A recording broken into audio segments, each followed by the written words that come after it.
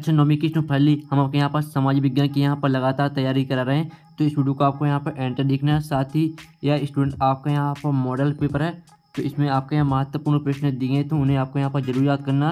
और साथ ही, आपको अपने यहाँ पर लगातार तैयारी करते रहना ठीक है, जिससे आपके यहाँ पर सामाजिक विज्ञान पेपर अच्छे मार्क्स आ सके और आप अच्छे नंबर ला सकें, ठीक है। तो इस वीडियो को आपको यहाँ पर ध्यान से देखना और साथ ही आप यहाँ पर देख लीजिए जो आपके यहाँ पर जो आपका पेपर हो, होगा समाज विज्ञान का उसमें आपके तेईस क्वेश्चन आएँगे और मार्क्स आपको पचहत्तर नंबर का रहेगा और समय आपका यहाँ पर तीन घंटे रहेगा ठीक है ये आपका यहाँ पर मॉडल पेपर है और साथ ही आपके यहाँ पर निर्देश आते हैं तो वो भी आप यहाँ पढ़ सकते हैं ठीक है यानी आपके इस तरह से यहाँ पर निर्देश आएँगे आप चलिए जो आपके यहाँ पर महत्वपूर्ण सही विकल्प यानी महत्वपूर्ण प्रश्न है वो हम यहाँ पर देख लेते हैं तो आपको यहाँ पर ध्यान से देखना ठीक है तो आप यहाँ पर देख लीजिए, सही विकल्प चुनकर लिखिए छः नंबर के आते हैं। तो पहला आता भारत किस महाद्वीप का हिस्सा है? तो इसका आपका आता यूरोप और बाता अफ्रीका, और सात एशिया, और दाता ऑस्ट्रेलिया। तो जो आपके यहाँ पर दिया है, भारत किस महाद्वीप का हिस्सा है? ठीक है, जो आपके यहाँ पर दिया भारत किस महाद्वीप का हिस्सा है? तो इसका करेक्ट आंसर आपका हिस्सा हो जाएगा एशिया। एशिया आपका यहाँ पर करेक्ट आंसर आएगा तो आपको यहाँ पर अच्छे तरह से यहाँ पर याद करना, ठीक है?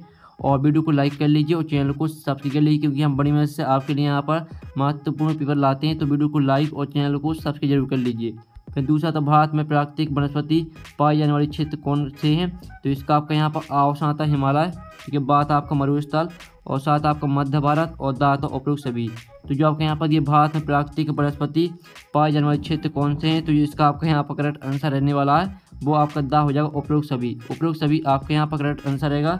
फिर आपके यहाँ पर आता है जिसमें आप यहाँ पर देख लीजिए, भारत के पड़ोसी देशों में किस का जनसंख्या घनत्व भारत से अधिक है? तो इसका आपके यहाँ पर आवासन आता पाकिस्तान और आपका बाय आता म्यांमार और आपका साथ है यहाँ पर नेपाल और दाता आपका बांग्लादेश। तो जो आपके यहाँ पर ये भारत के पड़ोसी देशों में किस का जनसंख्या घनत्व भारत से अधिक है तो इसका जो करेक्ट आंसर रहेगा वो आपका यहाँ पर दा हो जाएगा बांग्लादेश। बांग्लादेश आपका यहाँ पर करेक्ट आंसर रहेगा।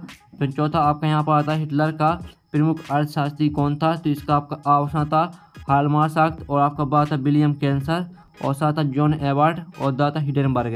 तो जो आपके यहाँ पर ये भारत हिटलर का प्रमुख अर्थशास्त्री कौन था?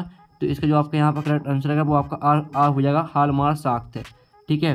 फिर आपके यहाँ पाँचवा आता है, जिसमें आप यहाँ पर देख लीजिए, लोकतंत्र जनता के लिए, जनता के द्वारा जनता का शासन है उपयुक्त कथन है। तो जो आपके यहाँ पर दिया गया लोकतंत्र जनता के लिए के लिए जनता के द्वारा जनता का शासन है। ये आप बताना कि किसका कथन है? तो इसका आपका अवसर था अब्राहम लिंकन और बात था मिस्टर चर्चिल और साथ था प्रो लास्की और दाता प्रो गार्नर तो इसका आपका करेक्ट आंसर है वो आपका आ हो जाएगा अब्राहम लिंकन। ठीक है तो आपको यहाँ पर अच्छे से याद करते जाना। फिर आपका यहाँ पर छः माता एक विशेष अवधि में एक हज़ार, प्रति एक हज़ार व्यक्ति के पीछे मरने वालों की संख्या क्या कही जाती है? तो इसका आपका ऑप्शन आता है मृत्यु दर और बात मृत्यु दर और साथ आपका यहाँ पर जन्म दर और दाता आपका जीवन प्रत्याशा।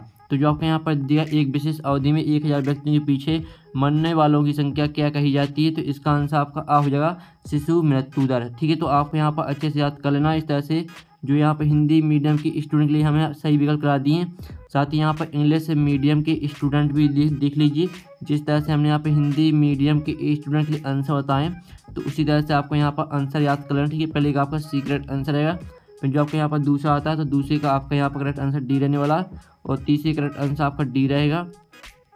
फिर जो आपका यहाँ पर चौथा आता है तो इसका जो आपका यहाँ पर करेक्ट आंसर रहने वाला, वो आपका यहाँ पर ए हो जाएगा। ठीक है? और जो आपका पाँचवा आता है तो पाँचवीं का आपका यहाँ पर करेक्ट आंसर ए रहने वाला ठीक है? तो यहाँ पर इंग्लिश मीडियम की स्टूडेंट देख लीजिए। जो छः है छः का आपका यहाँ पर करेक्ट आंसर क्या रहेगा?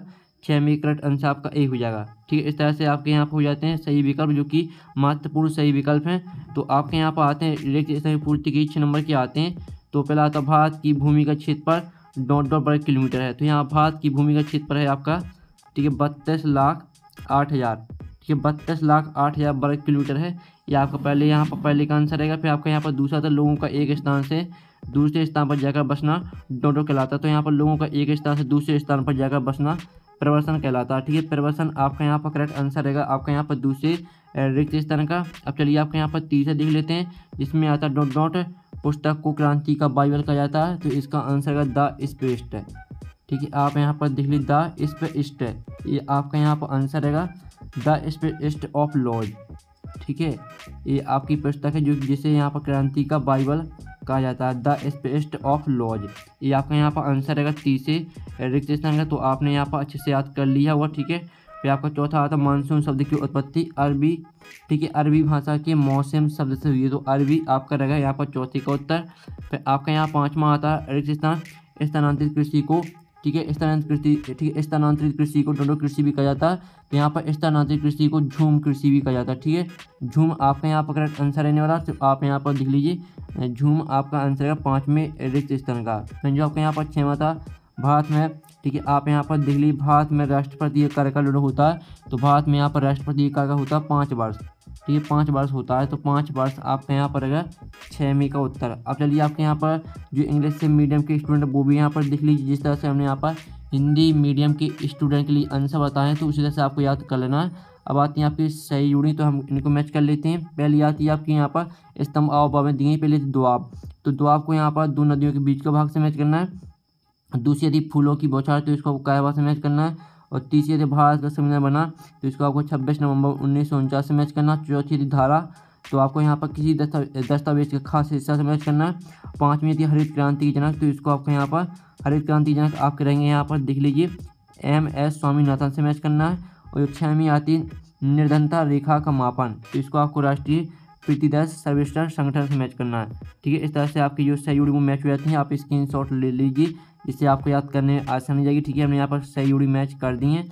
और साथ ही आप यहाँ पर देख लीजिए इंग्लिश से मीडियम के स्टूडेंट देख लीजिए, जिस तरह से हमने यहाँ पर हिंदी मीडियम के स्टूडेंट के लिए यहाँ पर सही जुड़ी मैच है तो उसी तरह से आपको मैच यहाँ पर कर लेनी है। अब चलिए आपके यहाँ पर बार उत्तर आते हैं तो पहले आपका यहाँ पर आता भारत के उत्तर पश्चिम स्थित पड़ोसी देशों के नाम लिखिए। तो इसका आंसर रहेगा आपके यहाँ पर नेपाल और भूटान।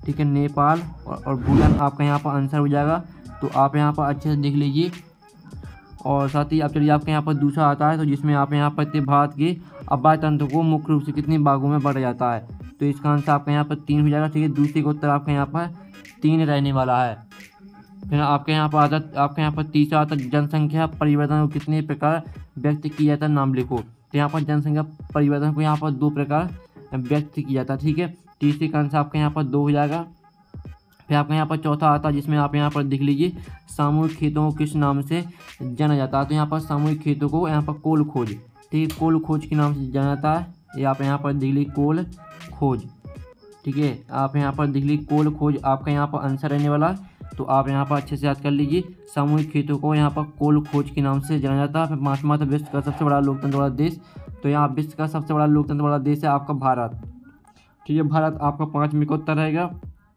फिर छः माह बरसात के मौसम में किसान क्या उगाते हैं? तो इसका आंसर रहेगा आपके यहाँ पर ज्वार और बाजरा। ठीक है, बरसात के मौसम में यहाँ पर किसान, ठीक है, ज्वार और बाजरा उगाते हैं। ये आपका यहाँ पर आंसर रहेगा, ठीक है। तो आपको यहाँ पर अच्छी तरह से यहाँ पर याद कर लेना, ठीक है। और आपको अपनी लगातार यहाँ पर तैयारी करते रहना, आपको अपनी तैयारी नहीं रोकना है। आपको यहाँ पर अपनी तैयारी लगातार करते रहना है। ठीक है, यहाँ पर इंग्लिश से मीडियम के स्टूडेंट भी देख लीजिए। फिर आते हैं सत का चांग लिखिए तो हम इसको भी कंप्लीट कर लेते हैं। पहला आता है हिटलर गणतंत्र का समर्थक था तो पहला आपका सत्रह फिर दूसरा तो भारत, एक धर्म, ठीक है, धर्मनिरपेक्ष राज्य तो दूसरा आपका यहाँ पर सत्रह है फिर तीसरा तो महात्मा गांधी को राष्ट्रपिता के नाम से जाना जाता है तो ये सभी को पता होगा, बिल्कुल सत्य रहने वाला है।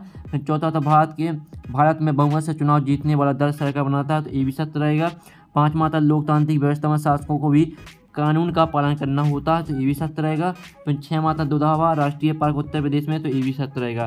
तो इस तरह से आपके यहाँ पर सत्तर सतवीं कंप्लीट हो जाती है, पहला आपका असत रहेगा और सभी आपके सत्य रहने वाले हैं। अब चलिए आपके यहाँ पर नेक्स्ट क्वेश्चन देख लेते हैं। तो आपके यहाँ पर जो इंग्लिश मीडियम की स्टूडेंट वो देख ली select true place and right ठीक है? जिस तरह से हमने यहाँ पर हिंदी मीडियम के स्टूडेंट के लिए आंसर बताए तो उसी तरह से आपको याद कर लेना। अब आते हैं।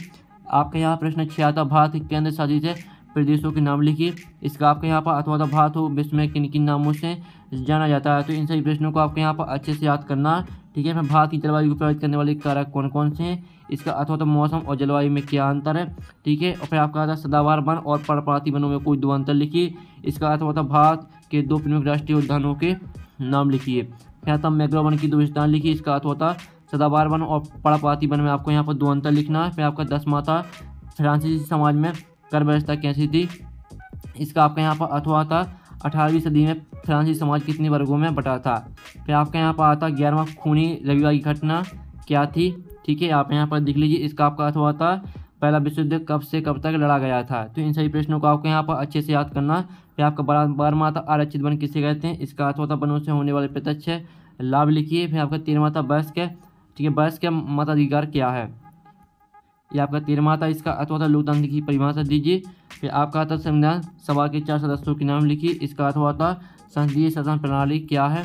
और फिर आपका आता है यहाँ पर गठबंधन सरकार किसे कहते हैं? इसका अथवा था हम, हमारे में संविधान की व्याख्या का अधिकार किसे प्राप्त है? फिर आपका सोलवा था शिक्षित बेरोजगारी से आपके समझते हैं। इसका अर्थ होता है। शिशु मृत्यु दर से क्या अभिप्राय है? ठीक है, इन सभी प्रश्नों को आपको अच्छे से यहाँ पर याद करना और आपको यहाँ पर लगातार तैयारी करते रहना ठीक है? और साथ ही जो हम प्रश्न बता रहे हैं, इन्हीं पर आपको यहाँ पर सौ प्रतिशत निर्भर नहीं रहना, आपको अपनी तैयारी करना ठीक है? सत्यमाता मानव संसाधन, अन्य संसाधनों से किस प्रकार अलग है? इसका अर्थ होता मानव पूंजी निर्माण में स्वास्थ्य की भूमिका क्या है?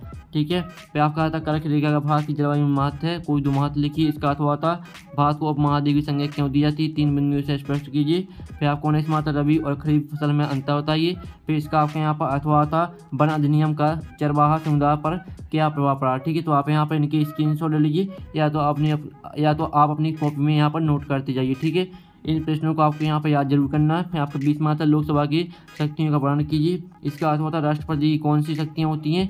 समझाइए। फिर आपके यहाँ पर इक्कीस मात्रा भारतीय संविधान में प्रदत्त मौलिक अधिकारों को समझाइए। इसका आपका यहाँ पर अथवा था भारतीय संविधान में वर्णित शैक्षिक और सांस्कृतिक अधिकारों को समझाइए। फिर आपके यहाँ पर बाईस मात्रा जिसमें आप यहाँ पर देख लीजिए, भारत में निर्धनता रेखा की क्या कारण है, लिखिए। इसका अथवा था वैश्विक निर्धनता परिदृश्य को स्पष्ट कीजिए।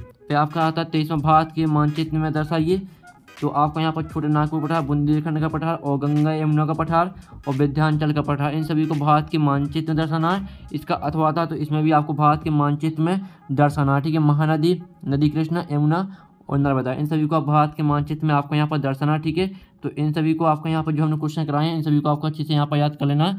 साथ ही जो आपके यहाँ पर दो नंबर के क्वेश्चन ठीक है, और जो आपके यहाँ पर तीन नंबर के क्वेश्चन जो और चार नंबर के क्वेश्चन है इनका सोल्यूशन नेक्स्ट वीडियो में आएगा। वीडियो को लाइक कर लीजिए चैनल को सब्सक्राइब कर लीजिए। और साथ ही आप इसका पीडीएफ डाउनलोड करना चाहते हैं तो उसकी लिंक आपको वीडियो के डिस्क्रिप्शन में लगी तो वहाँ से आप इसका पीडीएफ डाउनलोड कर सकते हैं। ठीक है तो हम यहाँ पर नेक्स्ट वीडियो में बाय बाय अगर आपने हमारे यहाँ पर टेलीग्राम ग्रुप ज्वाइन नहीं किया तो आपको टेलीग्राम ग्रुप ज्वाइन कर लेना ठीक है आप यहाँ पर देख लीजिए लिंक आपको वीडियो की डिस्क्रिप्शन में मिल जाएगी साथ ही आप यहाँ पर देख लीजिए सैंतीस हज़ार स्टूडेंट यहाँ पर ग्रुप में जुड़े हुए हैं साथ ही आपको यहाँ पर पेपर का पीडीएफ सभी सोल्यूशन का पीडीएफ आपको यहाँ पर उपलब्ध कराया जाता है ठीक है आप यहाँ पर देख लीजिए सभी पीडीएफ यहाँ पर डले हुए हैं तो यहाँ पर आपको पी पीडीएफ मिल जाएगा क्वेश्चन पेपर का साथ ही आपको सोल्यूशन भी तो आपको यहाँ पर ज्वाइन कर लेना ठीक है लिंक आपको वीडियो की डिस्क्रिप्शन मिल जाएगी